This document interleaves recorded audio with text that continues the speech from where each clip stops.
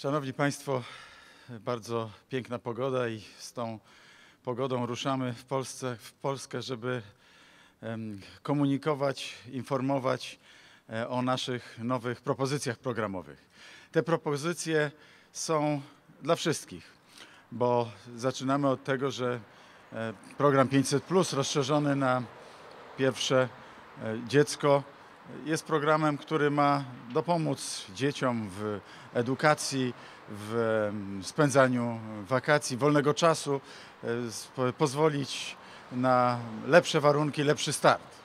Później, kiedy człowiek dorasta, kończy 18 rok życia i albo idzie na studia, albo rozpoczyna pracę, albo do studium jakiegoś, czy em, gdzieś szuka jakichś możliwości zawodowych, to do 26 roku życia zasadniczo dużo lepsze warunki pracy, ponieważ mamy tutaj propozycje dla młodych ludzi pracy bez podatku. PIT do 26 roku życia 0%.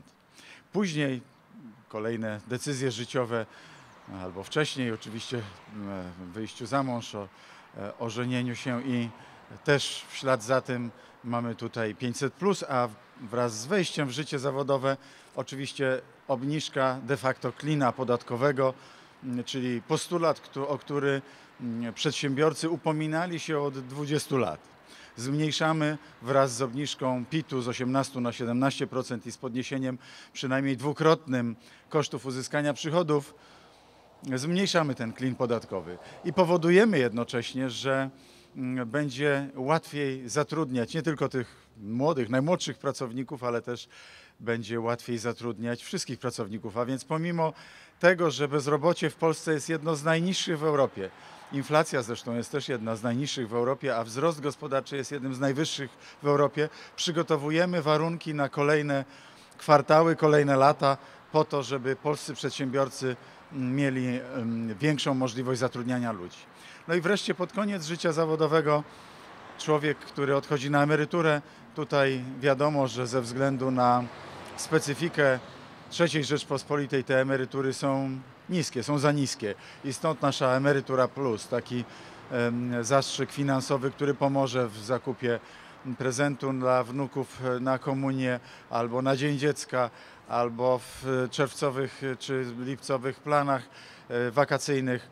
To są różne e, potrzeby, które oczywiście emeryci najlepiej wiedzą, na co te środki wydadzą. I tutaj warto też zaznaczyć, że e, program obniżenia podatku PIT z 18 na 17 to też jest program, gdzie będą skorzystali z tego emeryci. To po to właśnie ruszamy z e, naszą piątką w Polskę, po to komunikujemy, żeby właśnie tego typu niuanse też wyjaśnić. Bo z jednej strony jestem często pytany, co trzeba zrobić, jakie formalności dopełnić, jakie, m, e, jaka biurokracja wokół tego będzie budowana. Więc tutaj chcę zapewnić, że ten punkt em, odcięcia, ten punkt startu to jest punkt zero biurokracji. Dla nas najważniejsze jest to, żeby była prostota tych rozwiązań. Ale oczywiście, tak jak choćby to, co powiedziałem minutkę temu, były pytania, czy emeryci skorzystają z, tych, z tej obniżki z 18 na 17%. Oczywiście skorzystają z tego. To jest dodatkowy, trzeci w tym roku zastrzyk, będzie taki mały oczywiście, ale mm, ziarnko do ziarnka w mm, jesienią tego roku, czy, czy późnym latem tego roku, wrzesień, październik. A jeśli chodzi o e, inne rozwiązania, to szczegóły ich będziemy wyjaśniać, ale przypadku na przykład emerytury plus nie chcemy, żeby były, była konieczność składania jakichkolwiek dodatkowych wniosków i nad tym pracujemy. Oczywiście często też pytania padają, czy w przypadku rencistów też te emerytury plus będą działać. Odpowiadam tak, będą oczywiście działały. Niedawno byłem w Katowicach, tam jedna z pań, e, emerytka, e, powiedziała mi coś ciekawego o programie komunikacyjnym. Mówi do mnie pani Zofia, że w przypadku tego programu to dla niej bardzo ważne, bo z jednego powiatu do drugiego mm, kursowały autobusy tylko jeden raz dziennie. I w tym przypadku ciężko jej było odwiedzać rodzinę, zaplanować wyjazd do, do lekarza czy gdzieś do przyjaciół. I taki cel ma nasza polityka odbudowy połączeń autobusowych. To jest program cywilizacyjnie konieczny, cywiliz- cywilizacyjnie ważny. Polityka, której skutkiem jest przywracanie nadziei, to jest dobra polityka.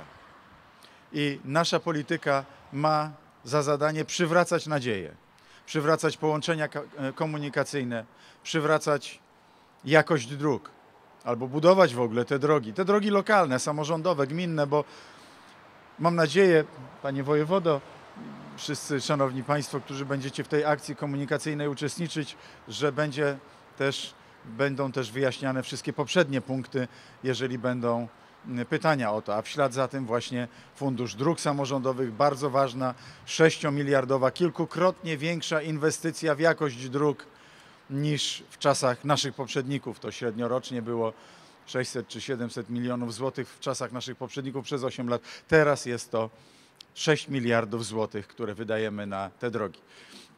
Szanowni Państwo, trzeba powiedzieć też, że często w czasach III Rzeczpospolitej e, liberałowie mówili, że musi być wolność.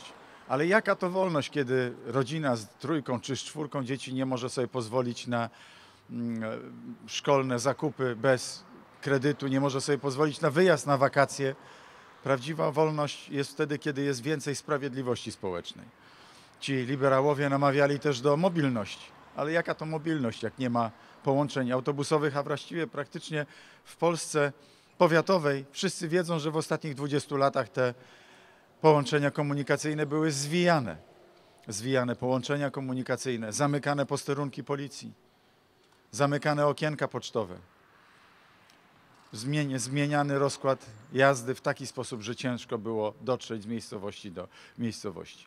I ta opowieść o Polsce sprawiedliwej to jest właśnie kontynuacja wdrażania naszych, naszej piątki. To jest właśnie to, co pokazujemy dzisiaj jako kolejny program. To już jest kolejna nasza obietnica, która jest spełniana zgodnie z tym, co zapowi- zapowiadaliśmy wcześniej i zgodnie z tym, co zaplanowaliśmy wcześniej, bo wszystko musi się odbywać w pewnych sekwencjach. Musieliśmy na, najpierw naprawić finanse publiczne, gdzie kilka lat temu jeszcze deficyt budżetowy sięgał 5-6%, a rekordowo prawie 8%, czy około 8% deficyt e, sektora finansów publicznych.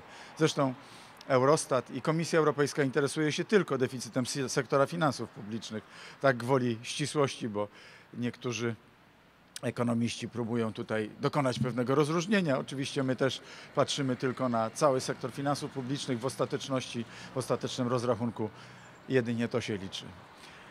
Szanowni Państwo, dotrzymujemy słowa i to jest nasza odpowiedzialna polityka, która ma też dać nowe perspektywy rozwojowe, nowy impuls, też impuls makroekonomiczny, bo jesteśmy w fazie globalnego spowolnienia i taki impuls jest klasycznym, bardzo prawidłowym działaniem gospodarczym, co właściwie potwierdzają również nasi przeciwnicy mm, polityczni, a więc należy się cieszyć, że tutaj wszyscy e, z, z tego typu posunięciem e, finansowym, fiskalnym się e, zgadzają, przynajmniej od strony makroekonomicznej, bo rozumiem, że toczą się różne polemiki polityczne, ale dla nas najważniejsze jest społeczeństwo, dla nas najważniejszy jest odbiór przez ludzi i jaki będzie miało to skutek dla emerytów, dla młodych ludzi, którzy mają tu zostawać i czy byłoby wspaniale, jakby tu zostawali i tu znajdowali pracę, a nie, mm, a nie wyjeżdżali. I cieszę się, że właśnie coraz częściej nam to mówią. Jeden z młodych ludzi w Katowicach na ostatnich targach e-sportowych, gamingowych e, powiedział mi właśnie, że ma świetny pomysł na znakomitą aplikację, e, ale nie mógł jej właściwie wystartować z tym, a w momencie, kiedy wdrożyliśmy mały ZUS, rozbiegówkę i PIT 0% dla osób do 26 roku życia, powiedział mi, że startuje ze świetnym pomysłem tutaj jest pewien swojego sukcesu. Tego typu opowieści bardzo nas motywują do pracy, bo one powodują, że życie Polaków się zmienia, a właśnie tak jak powiedziałem, że ta, ta polityka, której skutkiem jest odbudowa nadziei, to jest dobra polityka. Dziękuję.